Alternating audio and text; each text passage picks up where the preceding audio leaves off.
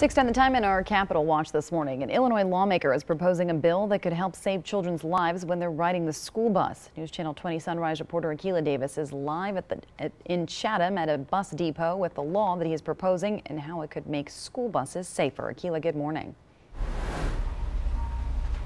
Hey there, Jen. Good morning. Not all school buses come equipped with seat belts. You can see here a safety hazard, but that could soon change. A bill moving through the Illinois General Assembly will require all new school buses to come with seat belts for each passenger.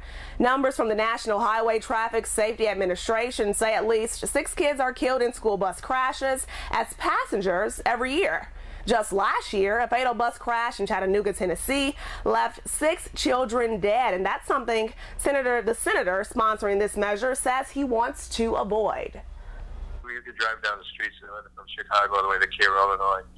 You know, you see kids jumping around buses and school buses, and it's really uh, another disaster waiting to happen. So I'm just trying to be proactive.